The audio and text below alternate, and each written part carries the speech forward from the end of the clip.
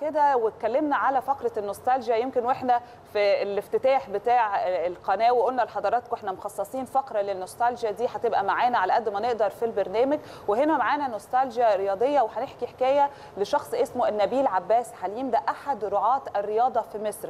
كان متعدد المواهب الرياضية وساهم بصراحة في كتير من الأندية. مش بس كده هو كمان يا كريم أطلق أطلق عليه لقب نصير العمال والفلاحين. نبيل عباس حليم ده هو حفيد الأمير محمد عبد الحليم أحد أبناء محمد علي باشا مؤسس الأسرة العلوية وهو من مواليد الإسكندرية عام 1897 كان طيار وخدم خلال الحرب العالمية الأولى وكمان كان ملاكم جيد وسباح ولاعب تنس وصياد ماهر. بذل جهد كبير واضح في رعاية الرياضة في مصر واستمر حتى أكتوبر 1930 رئيسا لنادي السيارات المصري. وبالمناسبة يعني بمناسبة الكلام عن إن هو كان صياد ماهر برضو من حكايات النبيل عباس حليم مع الرياضة إنه كان بيحب الصيد جدا. وكان بيحتفظ في قصره بمجموعة كبيرة من البنادق وكمان الحيوانات المفترسة اللي كان بيصطادها وبيحنطها بحجمها الكامل.